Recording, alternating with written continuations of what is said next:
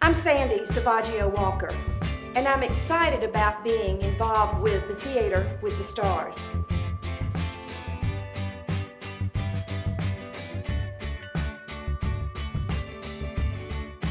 Because it gives me a chance to publicly support the new child advocacy center called Believe.